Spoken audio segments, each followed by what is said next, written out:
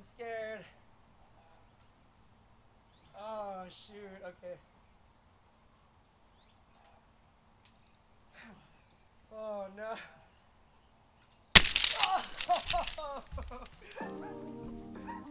What's going on guys? Today we're going to be breaking 5 mil and 6 mil diamond braid polyester rope. But before we do that, I want to tell you a quick little story. About a month ago we were in Mexico rigging Mexico's longest highline, uh, measuring about 1.05 kilometers. And we were hauling on this exact system that you see here. We had our 5 millimeter cord going through a Petzl ProTraxion. We had to keep it really tight because the gap wasn't very high.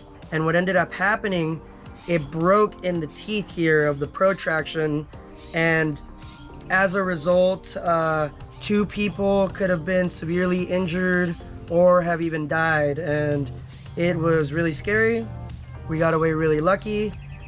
But I'll make another video on that whole story at another time and I'll put it up here on the corner for when that comes around today. I just want to go over what happened and test some of the ropes to see if diamond braid rope is safe to haul on a tooth device like the Petzl ProTraxion or the Petzl Micro Traxions. So here we have our 5 millimeter cord in the ProTraxion and what we're going to do today, we're going to test some sort of brand new 5 millimeter cord which is in this bag and also some really old six millimeter cord which is in this bag. And you can see this is nice and white and shiny. This one's a little old. That wasn't done on purpose. We've just had the six mil for much longer and the five mil for much less time. Now to be fair this test uh, won't really emulate what we did in Mexico because the 5 mil cord that we used in Mexico was much older than this cord. This cord is much nicer but we're still hoping to get some numbers and put it put it on the table for you guys to see here. So what we're gonna do we're going to first do some static tests. So it's in the Protrax it's caught on the teeth and over here we have an unfinished 8 to our dynamometer here. We have our catch cord here when when it pops and explodes. And we're essentially going to pull these pulleys until this indefinitely breaks in those teeth right there we're gonna test both the five and the six mil in both traction devices several times, see what we get. Okay, so for test number one, we have five mil braided rope in the ProTraxion. We're gonna repeat this test about three times. Here's break number one. Let's hope, uh, let's hope nothing bad happens.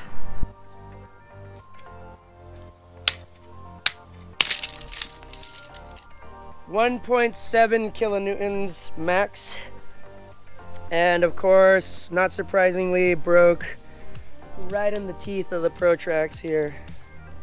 Uh, so, like I said, this is a brand new, or sort of brand new. We've used it a couple of times. Five millimeter braided polyester core rope, and broke at 1.7 kilonewtons peak in a ProTraxion. So, we're gonna do that two more times and see what we get. And we're just going to be writing down these values to put them in a table. So enjoy those breaks.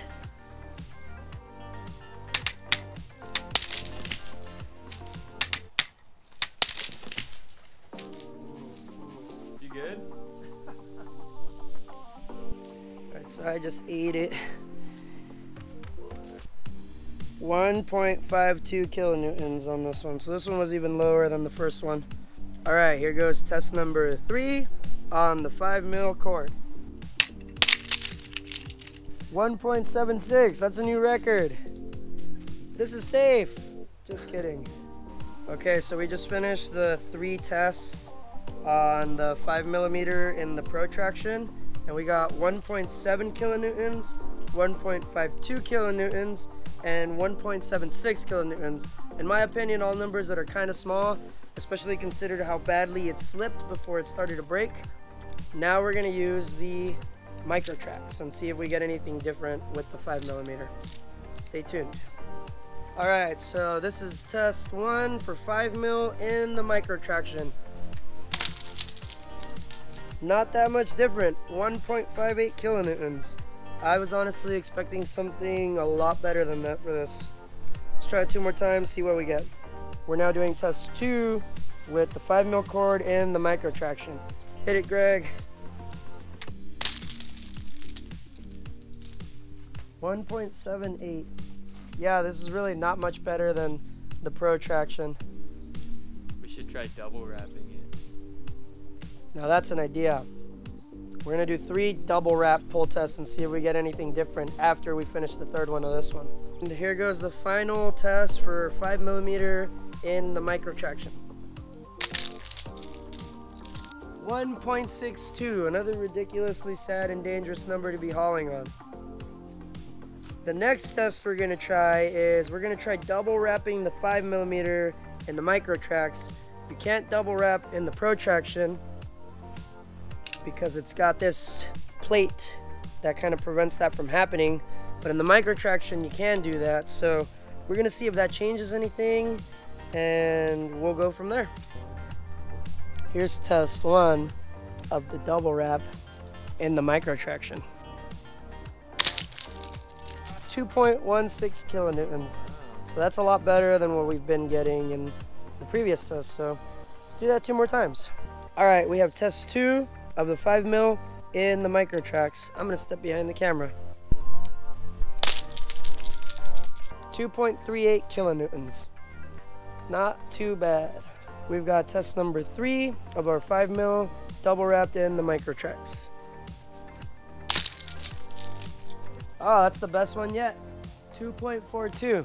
We're now done with the five mil. Uh, a little bit of notes. Um, even though it wasn't breaking at a much higher strength in the Micro Traxion than in the Pro Traxion, it was definitely slipping a lot in the Pro Traxion before it broke on that. So that's really concerning because if you're having slippage issues with a braided rope like this, you're gonna get fraying over time.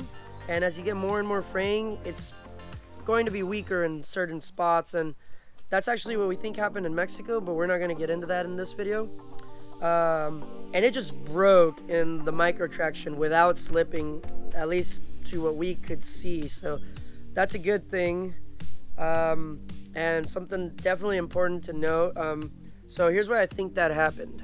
If you look at the two devices side by side and their teeth, you'll notice that the Micro Traxion here has more teeth actually, and they're a lot more closely spaced together than the ProTraxion here.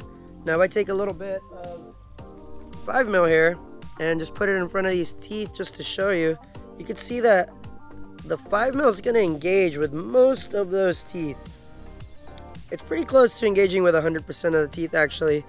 Um, and it's also a thinner entrance than this one. And if you, if you see with the ProTraxion here, if I put it on there, you could see that it's not really engaging with any of those outside teeth at all.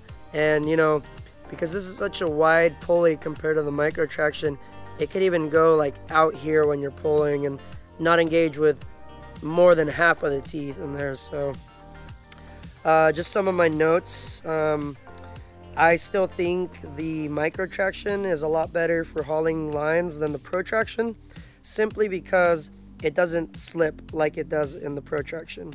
Last weekend I was actually hauling a 260 meter line using this 5 mil stuff in a ProTraxion and even under really low tensions I was noticing slippage in, in this guy. So kind of scary kind of don't want to do that again. Um, anyway we're gonna move on to 6 mil now to see if the extra weight and cost of that of that rope is worth using over this 5 mil stuff. So stay tuned for that this is our first ever break test in the backyard. If you guys enjoy content like this and enjoy watching our adventures, do me a quick favor down below on the screen right here. Click the like and subscribe button as well as that notification bell so you don't miss when we do another crazy thing like this. Uh, it helps us out a lot. It costs you nothing and we really appreciate it. Thank you guys so much. We've now hopped on to 6 mil. We're expecting really good results. Uh, first round of 6 mil, in the ProTraxion. Here we go. Yeah, that was a good one. That's a good number. 4.3 kilonewtons. Our high lines aren't even normally tensioned to this, so 4.3 is something I'm really comfortable hauling on, so we're gonna do that two more times, see if we can get some consistent results. Then we're gonna see if the Microtrax offers anything different, but just from this one test, I think six mil is the way to go, but we're gonna keep going, so don't go yet. Okay, so we've got test number two of 6 mil in a ProTraxion. Here we go. 4.22 kilonewtons. So far, pretty consistent. We're gonna do this one more time, see if we get another 4 point something. We are now doing test three of 6 millimeter in the Protrax. And we've got special guests. My mom and my sister are here to witness their first ever break test. So let's do it. 4.7 kilonewtons. I'm pretty happy with that.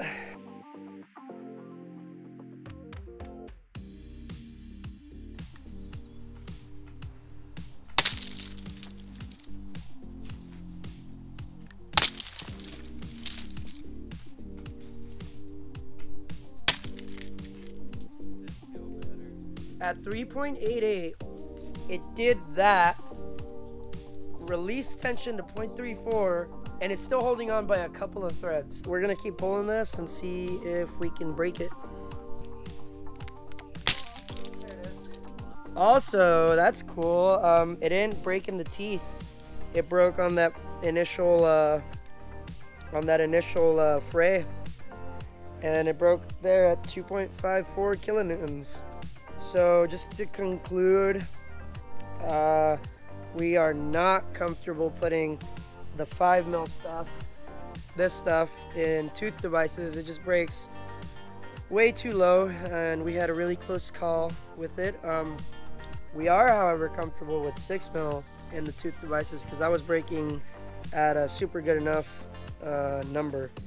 Um, next video, we'll try some non-tooth devices and see if we can get uh, the values we were getting in the Munter. Or maybe the answer is to go back to the old school ways and just start tying Munters again and hauling through those. So, yeah, again, um, just one more time, let me know what you guys think. Uh, we're done here. This is, uh, we have enough backyard science shenanigans with all those break tests we've got. So, yep, we'll see you guys later.